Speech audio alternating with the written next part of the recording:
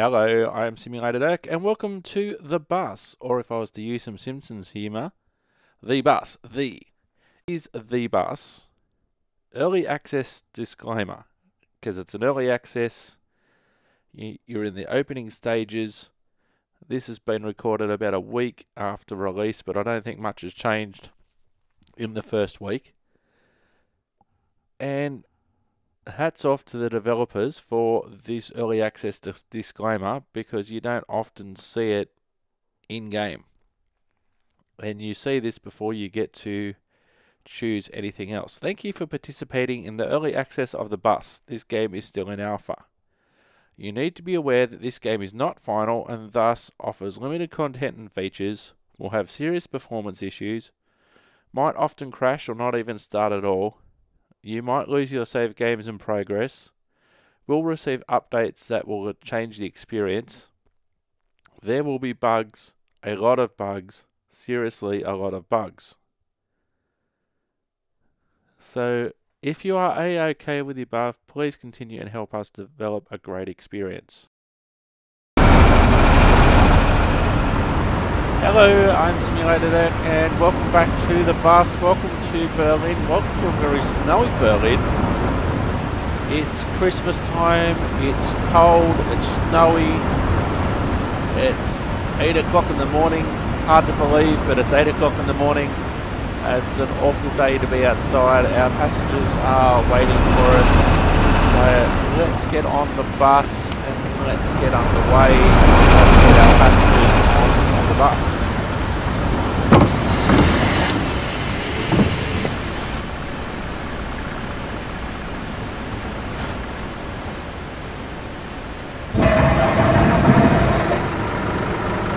start up our bus, get on the air, put our, our details in. Five, three, five, six, two.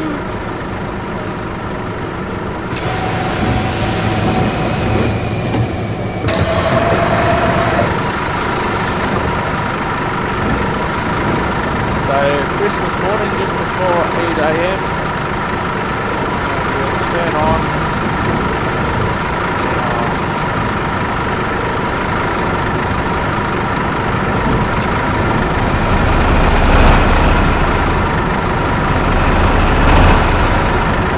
There's so much that's not available to me at the moment.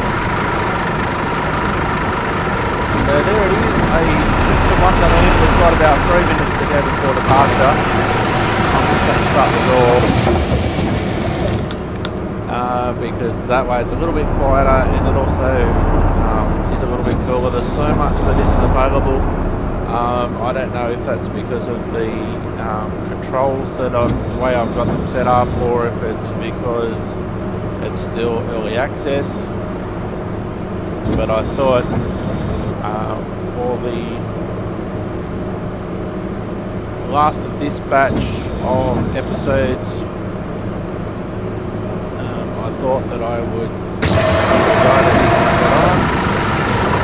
I thought that I would do a snow episode.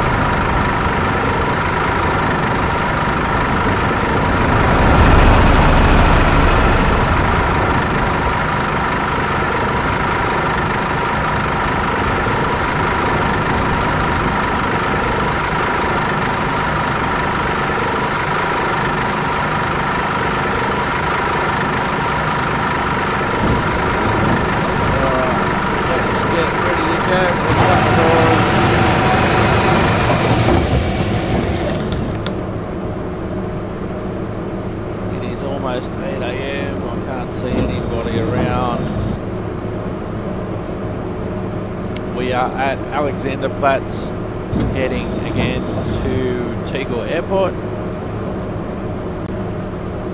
And for the last dispatch, before there's any further updates,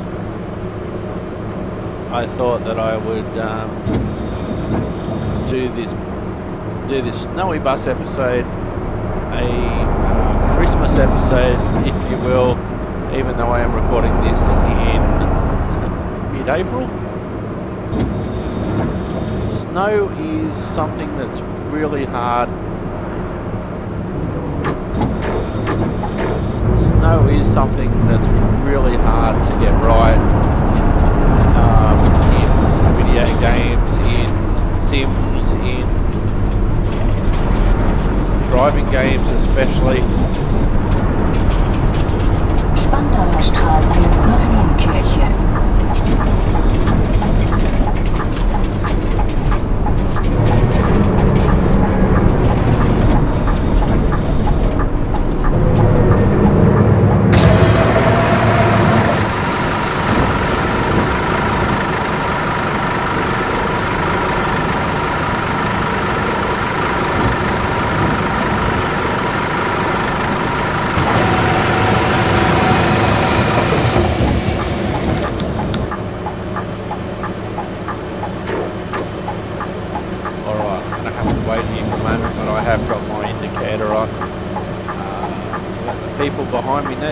want to get in.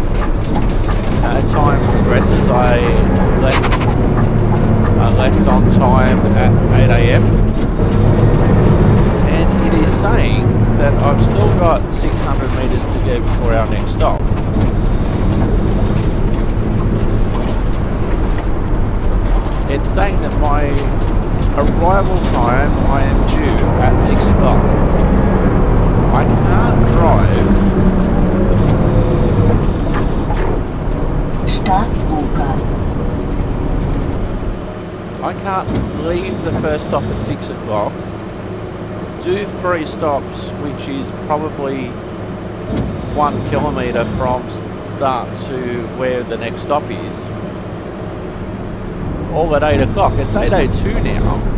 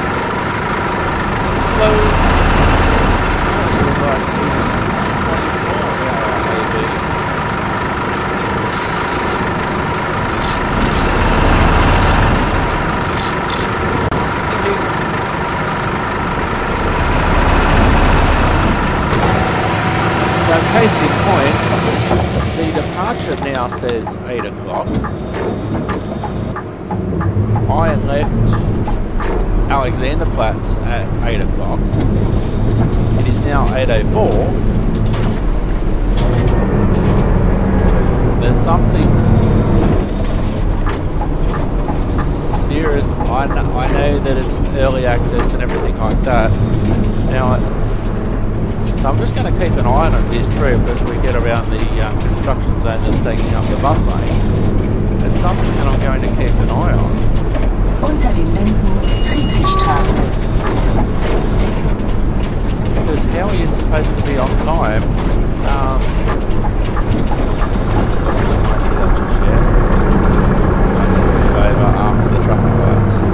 um, how am I supposed to be on time when the um, departure time, the arrival and departure time for the stops on route isn't correct?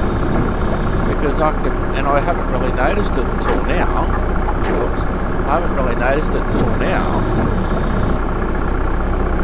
And it's like, I've just picked a random time, you know, on a random date.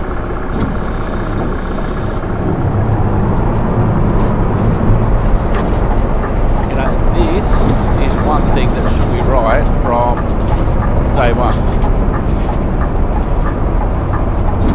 Fifty passengers here.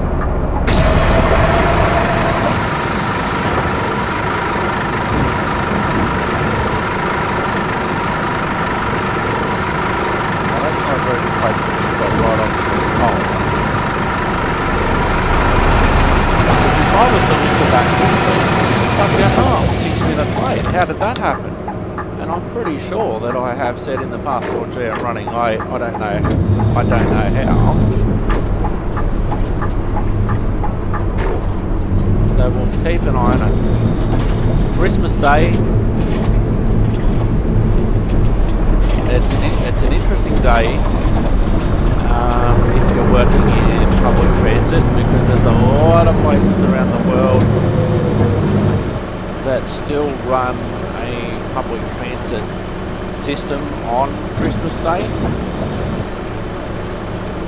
One of the most notable examples that don't on Christmas Day that has a um, total shutdown for Christmas Day is the London Underground, which is which is very very interesting because other transit systems still run in London and people are told, oh well you can't get London Underground services on Christmas Day. Um, just cut in front of me, dude. That's normal, I guess. Um, people in London on Christmas Day are just basically told there's no tube. Um, do your best. Rely on local. Rely on local services. Got a few people lined up.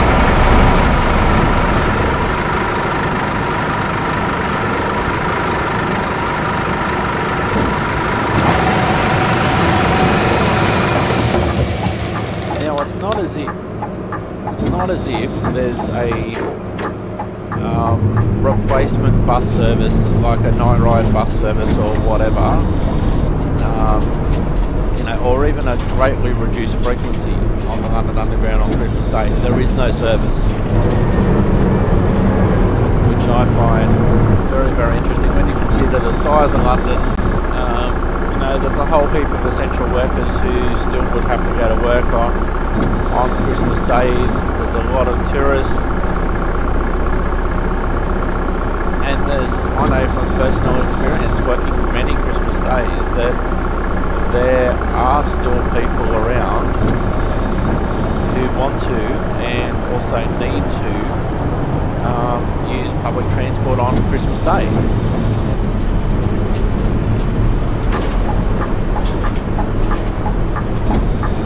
Oh, there's a um, subway station that I hadn't noticed before.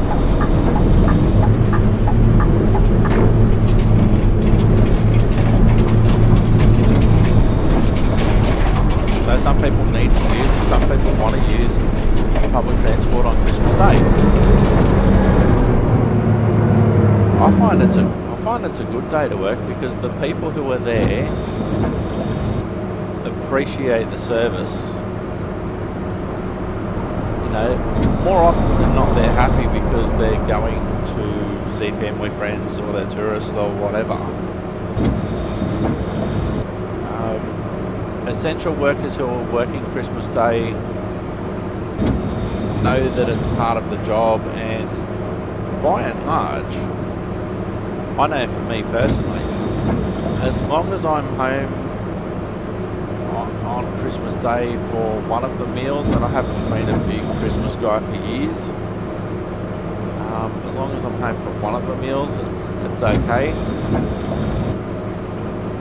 You know, I'd much rather be working Christmas Day and if I'm working Christmas Day, well that might mean that somebody who's got a large family, um, large family with kids, etc., um, well maybe they're they're at home.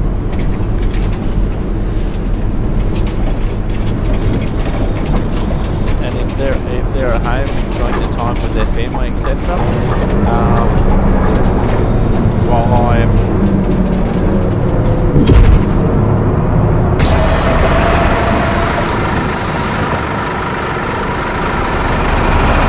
uh, while I'm while I'm working providing a service. Uh, I'm I'm happy with that.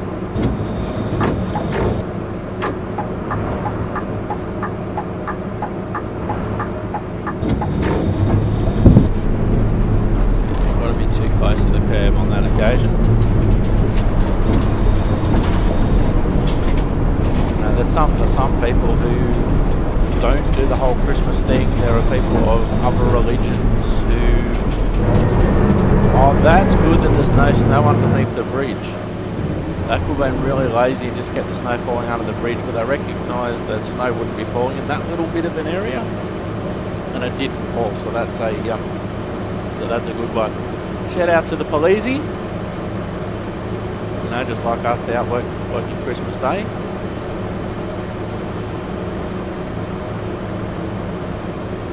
I don't know if they're going to have a greater role to play um, in future updates. The timetable's still showing us as arriving and departing at 8 o'clock, so clearly that's broken. Um, Charité Campus Mitte. I'll be interested to go back through previous videos and see if that's the case. If it's something that's happened all the time and I just haven't noticed.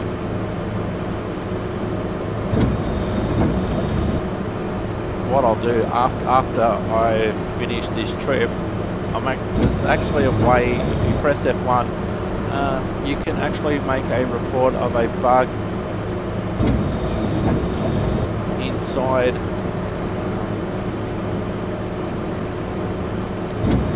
You can actually make a report inside CAME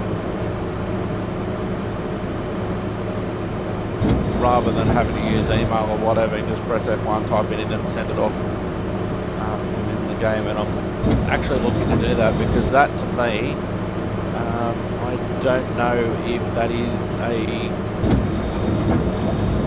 thing that's always been happening. I've this is my fourth episode that I know that I've recorded properly, plus there's been others that I had to scrap.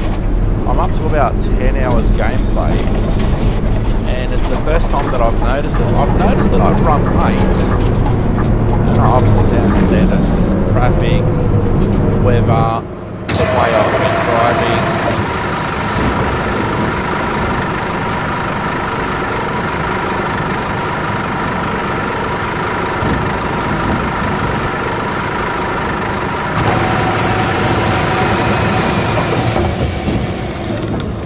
but I'm, I might even go through it at the end of this episode, have a look at, um,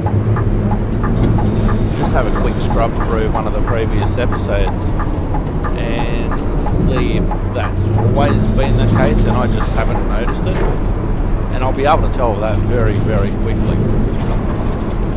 And the time that it takes me to run a promo, um, I would basically know that.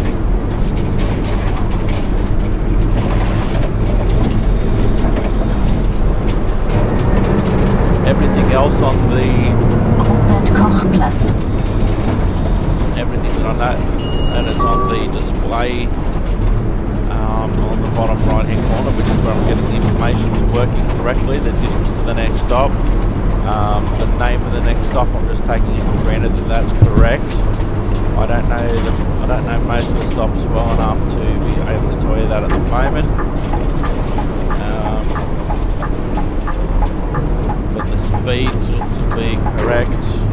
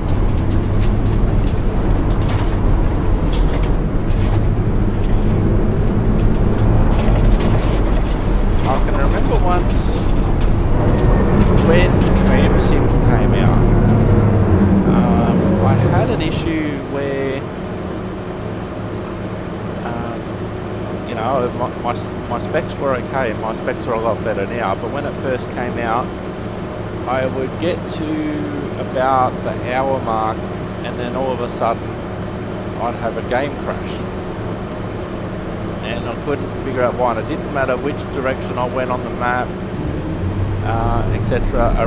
And the handy thing about recording uh, these episodes is that I can go back and, and review things. And I noticed that around about that hour recording and I'd get straight into I'd get straight into recording and I'd get straight into driving the tram. But about an hour in I'd have a game crash every time. And so I put it in as a um, I don't know what you're gonna do, Mr. Trucks, I'm gonna hang back.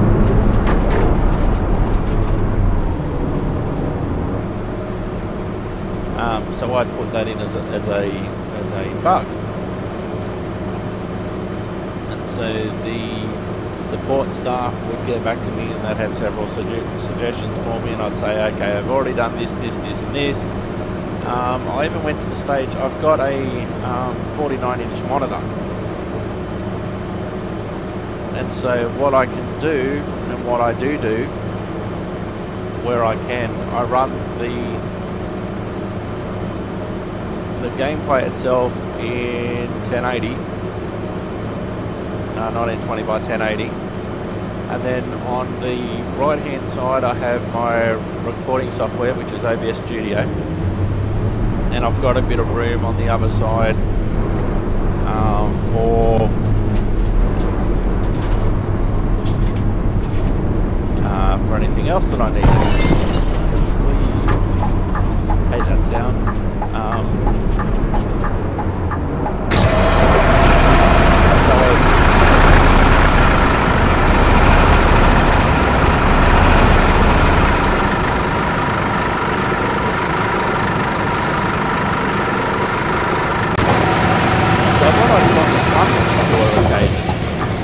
is that I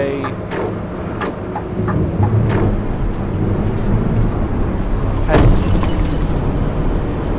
I had set up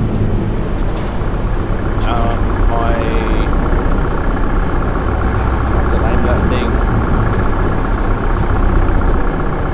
Task manager. My task manager up, and so I could think, see things like um, CPU load and everything like that. And in one video,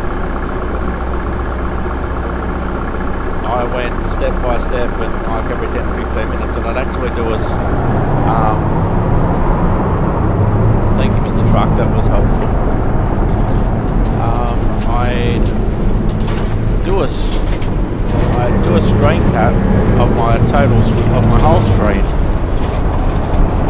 and the task manager wouldn't appear in in game on on the episode.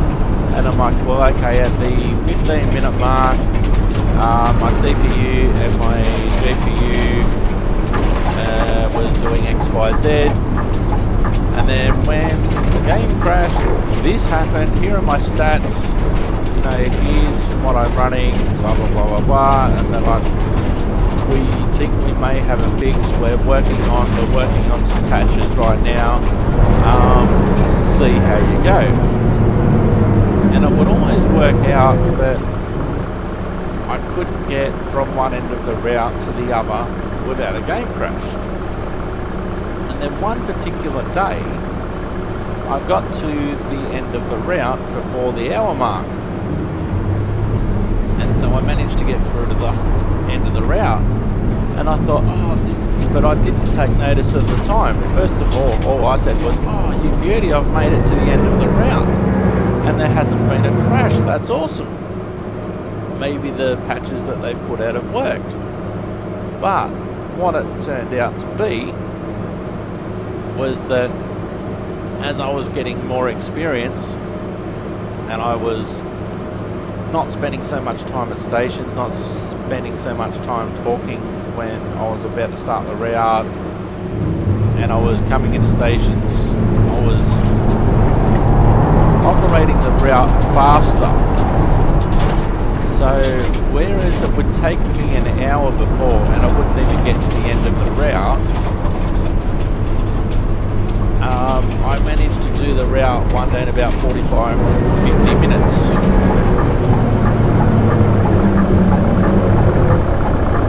And what this meant was it wasn't a result of anything that the, the developers had done to get rid of the problem that I was having, and I hadn't done anything like I hadn't upgraded the computer or or anything like that.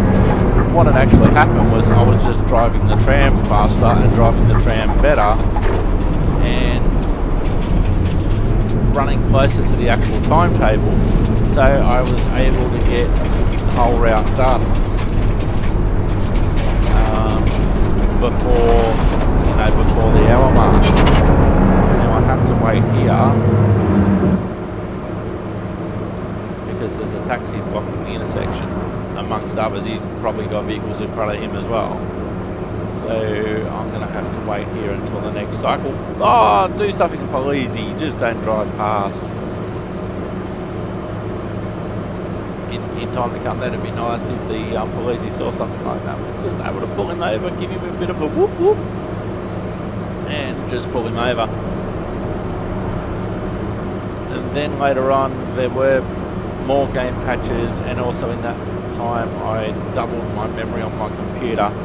Um, so I hadn't really had a problem with TramSim for a while, and this was my this was my argument. My argument basically went on the lines of I can run things well like Wreckfest, which is really really heavy on graphics, damage. There's a lot happening. I could run GTA. I can run trams, um, train simulators and bus simulators and all this sort of stuff. I can do all that. So why can't you know why can't the tram sim? Um, why can't that you know do the same? And I mean, you know things things worked out in the end.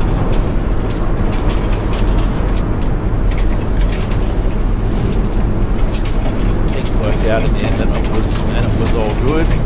And at the time of recording, I am just waiting for a new a new add-on for TramSim.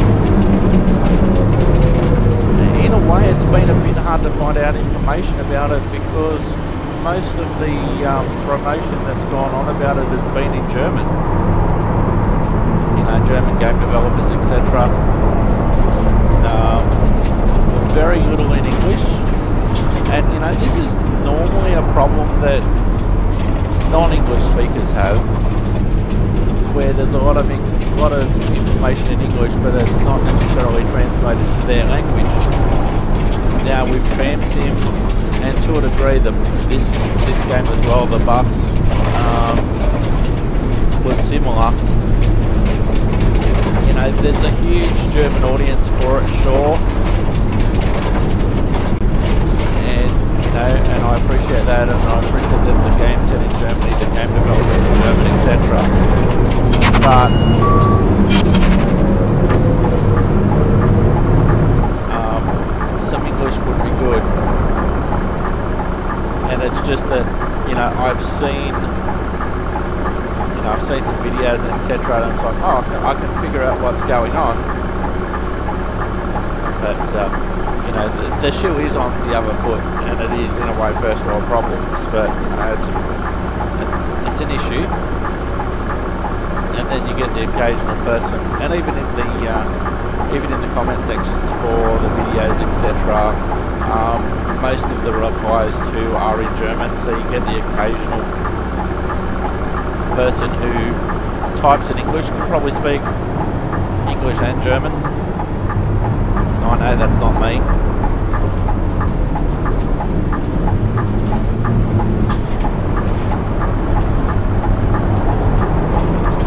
So I'm going to do a quick right and a quick left. And say, that's not me.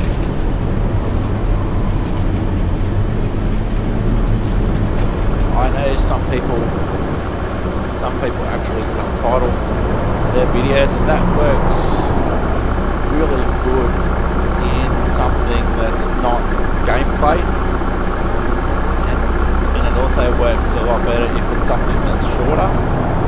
Um, Geoff Marshall, for instance, um, fantastic, um, fantastic bloke, fantastic YouTube channel. Um, in England, does a lot of um, does a lot of short uh, documentary style. What are you doing? Um, a lot of documentary style about English railways in particular, and you know. I, I've seen how he's grown with his channel, and now he does channel. He does videos on his channel where it's just not his observations on things or whatever, or you know, reporting on, on the news or whatever's going on in the videos that he's making. Um, the operators see his popularity and his track record and how he does videos, etc. And they actually reach out, and they actually reach out to him and use him as a way of um, communicating with with their customers. You know, via not necessarily, although they will promote it on their on their channels, etc., on their social media, etc. But um, with the amount of viewers that he's got around the world on his YouTube channel, you know, there's nothing like hearing something from quote unquote the horse's mouth. You know, he doesn't get to, he gets to a lot of behind the scenes things that a lot of people who are even in the industry don't get to see or do. And it's fantastic. And what he's what he's discovered recently, and what he's made a real effort of doing, um, starting with his most popular videos, um, he's going back and he's actually subtitling all of his videos. Now his videos are usually a lot shorter than mine, and so it's a lot easier for him to go back and, and subtitle them and um, you can actually turn on subtitles on YouTube and they'll do a and they'll do an auto translate or an auto subtitle. Sometimes that's good and sometimes it's not so good. Um, I have had to laugh. I do also live sports commentary, and I've had to laugh at some of the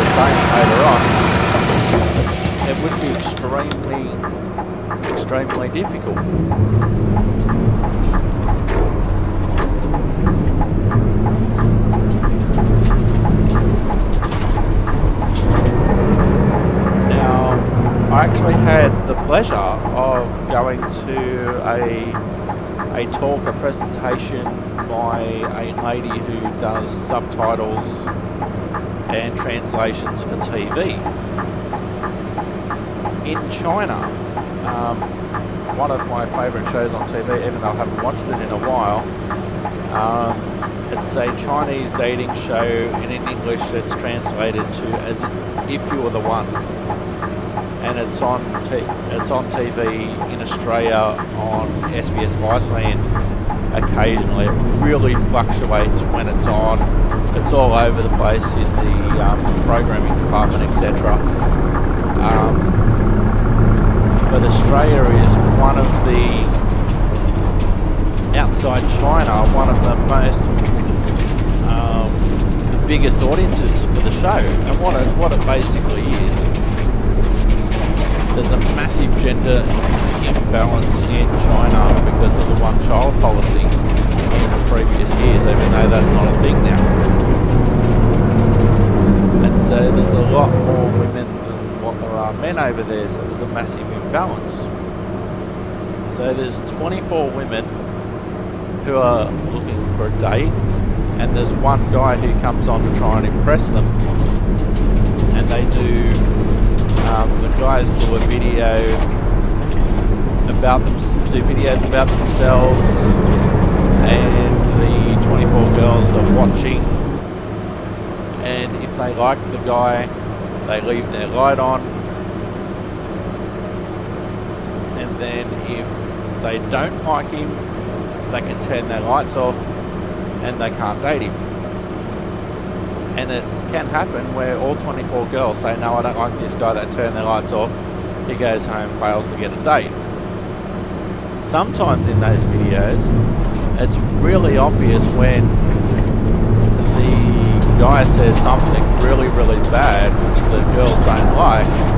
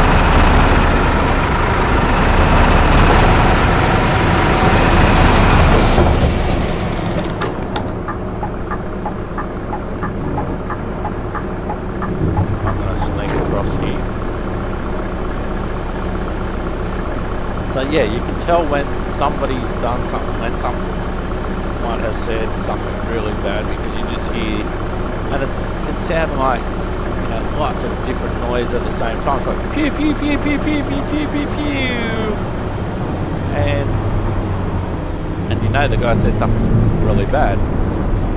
But the thing, but the thing about it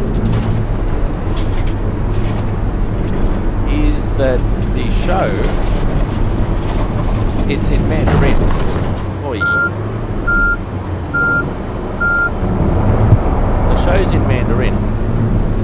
Spoiler alert, I can't understand Mandarin. I, I don't know many words. I know Sheshe, which is thank you. Um, CC I think is yes. And Nihao is hello, if, if I'm remembering. It's been a while since I've watched. Um, but the, but the thing is, for the Australian for the Australian audience, um, the show is subtitled into English. And the subtitles and the noise cues and the sound effects really help um, the Australian audience, a lot of whom aren't Chinese, um, they, they understand what's going on. I was listening to the head subtitler for the show and I could listen to her talk all day and it's a fascinating it's a fascinating subject. But what she was saying, um, I've gone down the wrong street. Oh dear. This is not going to be good. Um, what have I got behind me? It's an interesting question. Nothing, fortunately.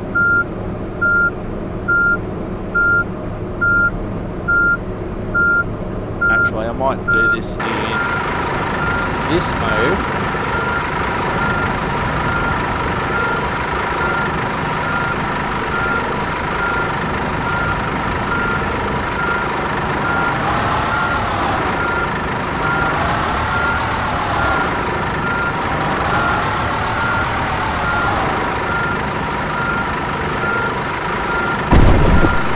Oops.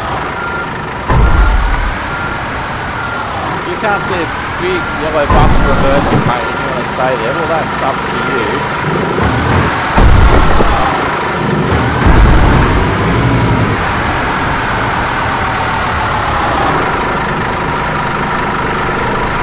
I might drive by this for a while, although it's going to be hard with the noise. So. wow, okay.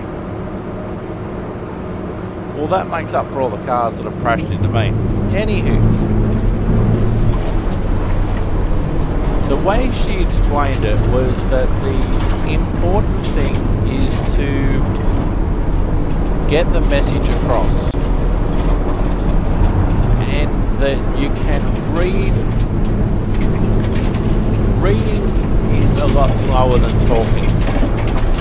So if you are and, and um, Mandarin is a very fast language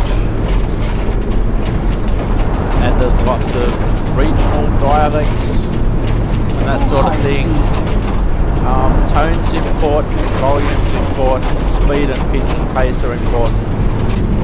And so when you've got somebody who is talking a foreign language very fast, and then you've got, say in Mandarin, you've got an English audience trying to read the subtitles because they're no hope of understanding what's going on without the subtitles.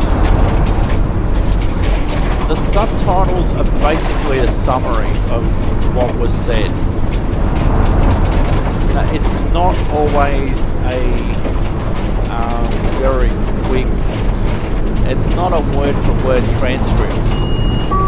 It's not like um, I don't know about other countries, but in Australia, I know you can look up online, and they used to print out. I don't know if they still do.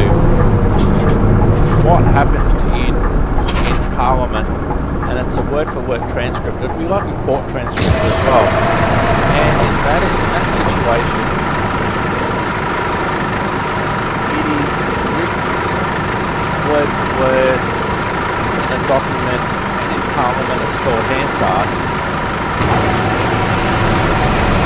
Know, or court, if it was in court for instance, it'd be just basically a transcript.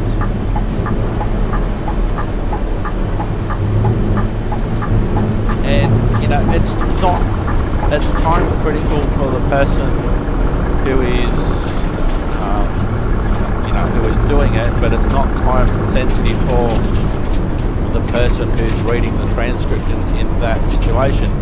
But in this situation, where it's TV, and you're trying to understand what's going on in a foreign language program,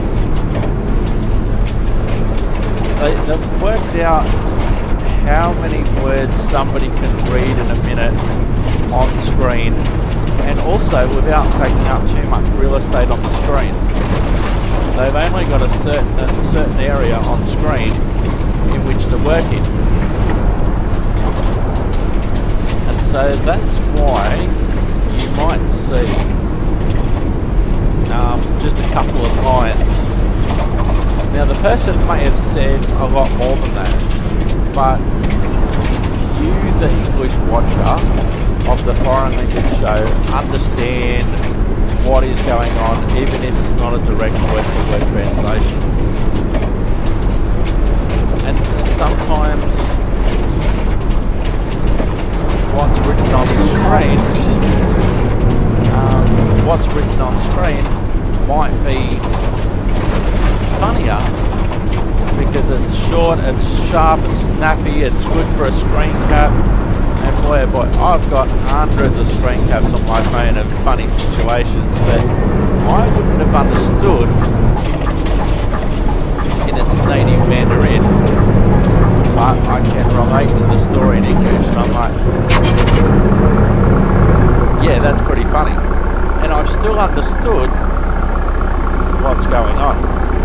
Now, anyone who's in Australia that can speak Mandarin as well, they might not even be watching the subtitles on, but they can understand. They can understand what's being said and they can follow along.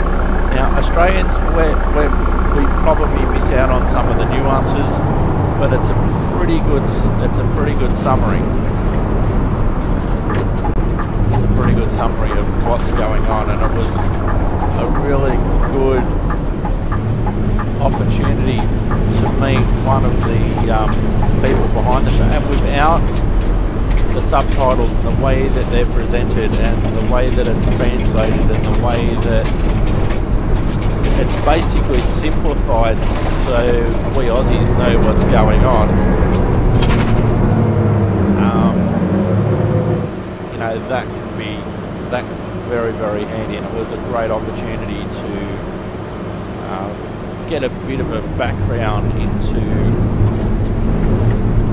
what it takes to um, translate and subtitle a TV show. Now it's different if it's a um, if it's a news program, if it's if you're actually um, subtitling live TV. Um, that can be that can be a lot different. But when you're dealing with something that's pre-recorded, um, you do have the time to get it right.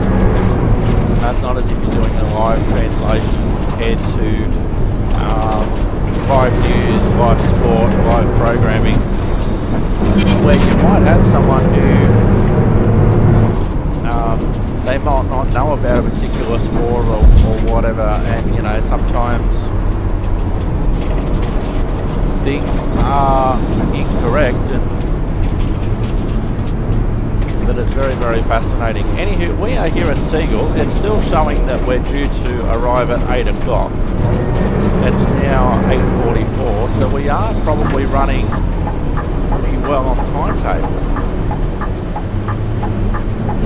Apart from my little stuff up where I was too busy telling a story went, wait,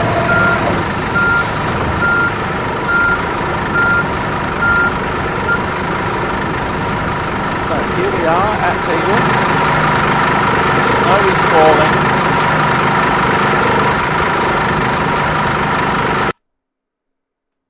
And that is our route complete. Thank you very much for watching. I hope you enjoyed that. Um, what I am actually going to do now, I'm going to run a little bit of a promo and then I am going to see exactly um, if I can see another episode uh, the situation about the timetable, which didn't change. I'm Simulated Erk, back in a minute.